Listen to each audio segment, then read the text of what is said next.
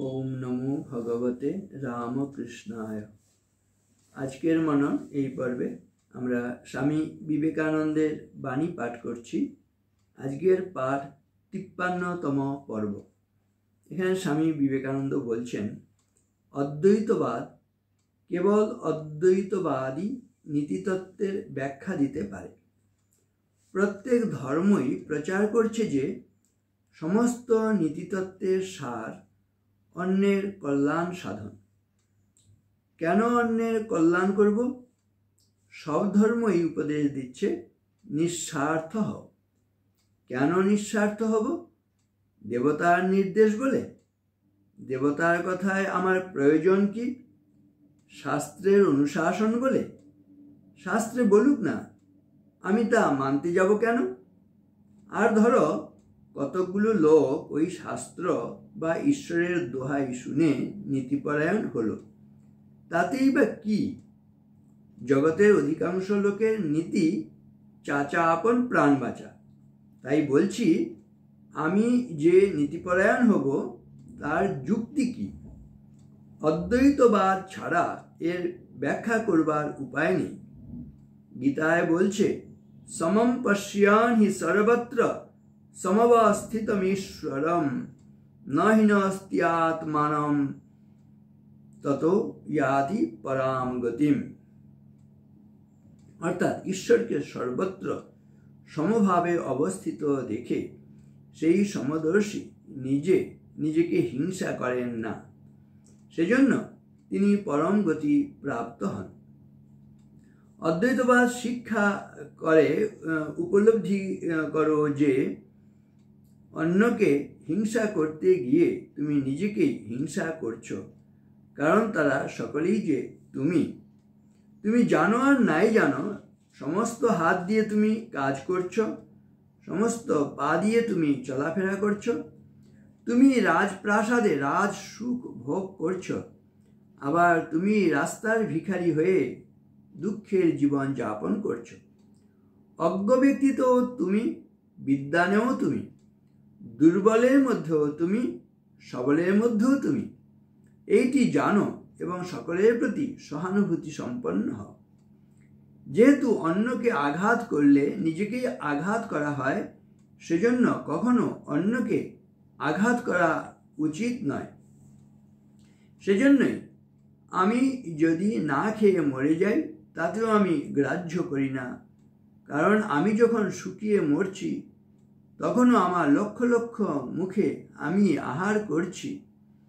অতএব এই ক্ষুদ্র আমি আমার সম্পর্কীয় বিষয় গ্রাহ্যের মধ্যেই আনা উচিত নয়, কারণ সমগ্র জগৎই আমার।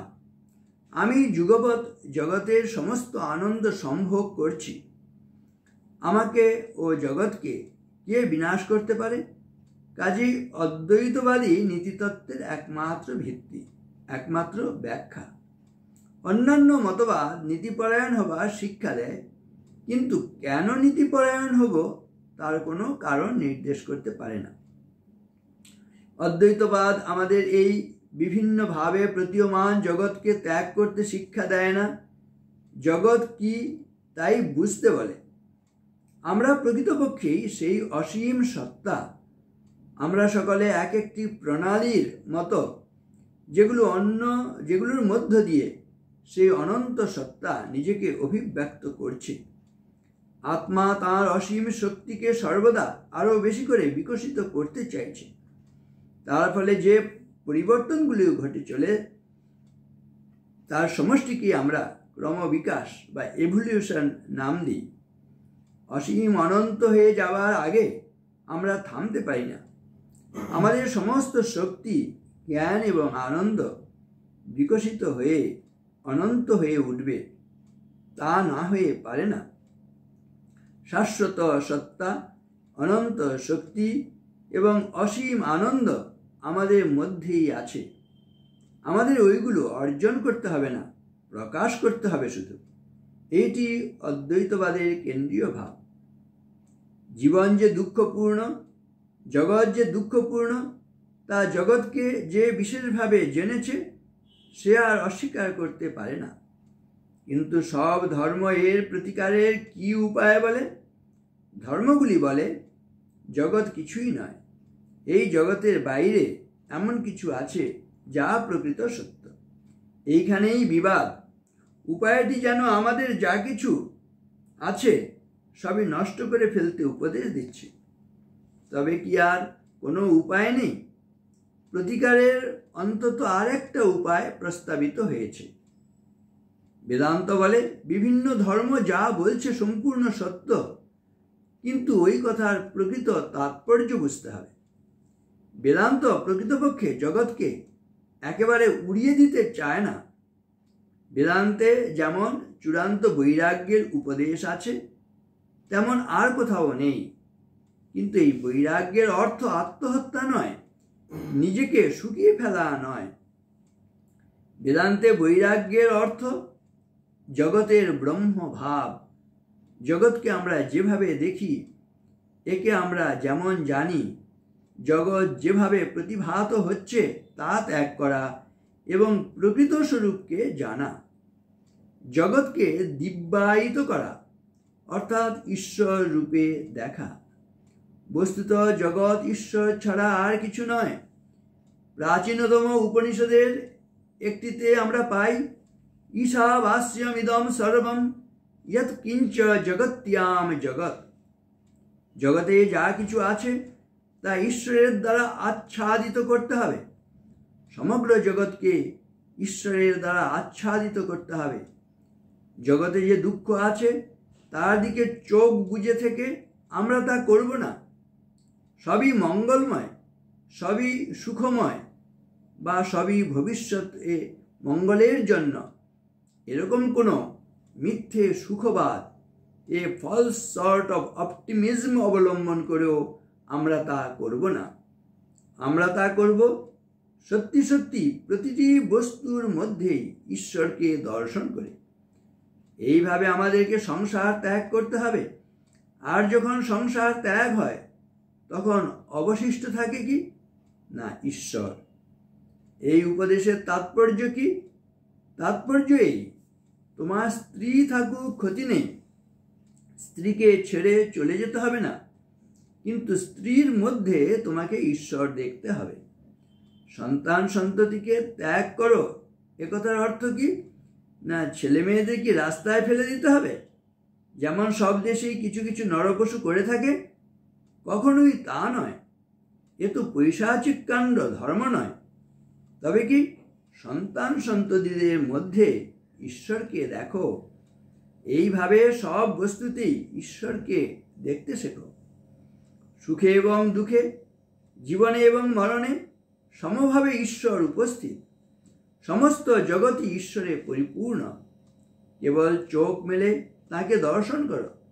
চোখ মেলে দেখো যে আমরা যে রূপে এতদিন জগৎকে দেখেছিলাম, প্রকৃতপক্ষে কখনোই তার অস্তিত্ব ছিল না। আমরা যেন স্বপ্ন দেখছিলাম, মায়ায় আচ্ছন্ন হয়ে আমাদের ওই ভুল হয়েছিল। অনন্তকাল ধরে বস্তু তো সেই প্রভুই একমাত্র বিদ্যমান। তিনি সন্তানের মধ্যে, তিনি স্ত্রীর মধ্যে, তিনি স্বামীতে, তিনি ভালো এবং মন্দতেও, তিনি পাপ এবং পাপিতে জীবনে তিনি মরণেও সেই তিনি। আমাদের শাস্ত্র বলছে, সর্বম খল্লিদম ব্রহ্ম। সব কিছুর মধ্যে সেই এক ব্রহ্ম রয়েছে। বৈষ্ণব শাস্ত্র রয়েছে, যত্র যত্র নেত্র পড়ে, তত্র তত্র কৃষ্ণ স্ফুরে। নজরুলের কবিতায় রয়েছে, কে তুমি খুঁজিছ জগদীশে ভাই? আকাশ পাতাল জুড়ে।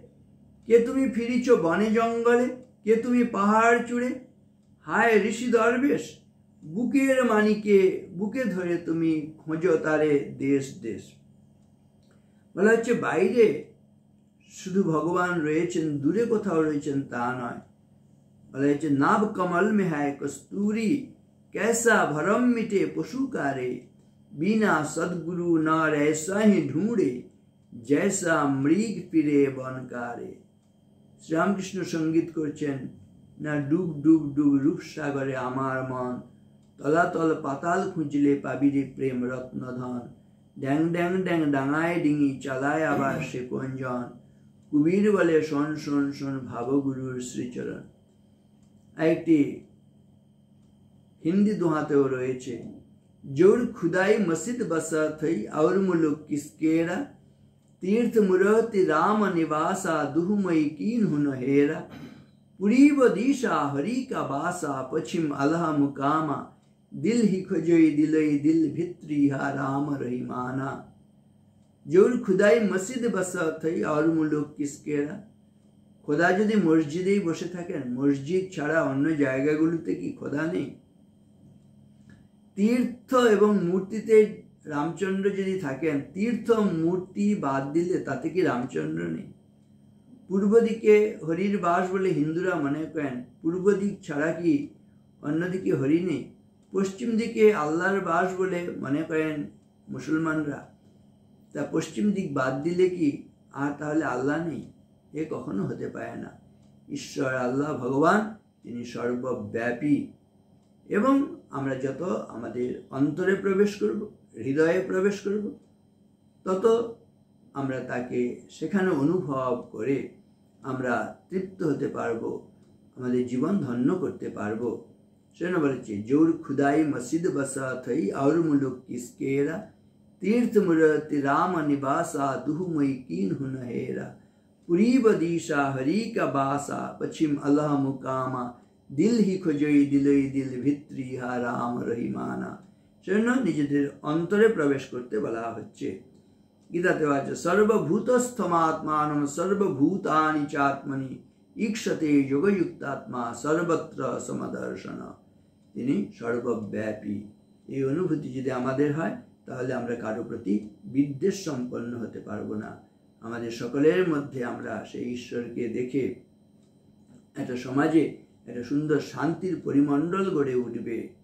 তখন হচ্ছে वसुधैव कुटुंबकम मने हवे अयम नीच परो वेति गणना लघु चेतसा उदार चरिता नाम वसुधैव कुटुंबकम भला ये जे तमेव माता च पिता तमेव तमेव बंधुश्च सखा तमेव तमेव विद्या द्रविणम तमेव तमेव सर्व मम देव देव, देव। মাতা মে পার্বতী দেবী পিতা দেবো মহেশ্বর বান্ধবা শিব ভক্তাশ্চ স্বদেশো ভুবনত্রয়ম অপূর্ব সুন্দরী ভাবনা বলেছে মাতা মে পার্বতী দেবী আমাদের মা হচ্ছেন দেবী পার্বতী পিতা দেব মহেশ্বর মহেশ্বর মহাদেব দেবাদিদেব তিনি আমাদের পিতা বান্ধবা শিব ভক্তাশ্চ আর সেই দেবাদিদেব মহাদেব, শিবের, যারা নাকি ভক্ত, তারা হচ্ছে আমাদের সকলের বন্ধু। বান্ধবা, শিব ভক্তাশ্চ স্বদেশ ভুবনত্রয়ম স্বর্গ মর্ত পাতাল সব ত্রিভুবন। সবই হচ্ছে আমার নিজের দেশ। অপূর্ব সুন্দর এই সকলকে গ্রহণ করার ভাবনা। না মাতা মে পার্বতী দেবী, পিতা দেব মহেশ্বর বান্ধবা শিব ভক্তাশ্চ স্বদেশ ভুবনত্র ওম শান্তি শান্তি শান্তি হরি ওম তৎসৎ শ্রীরামকৃষ্ণার্পণমস্তু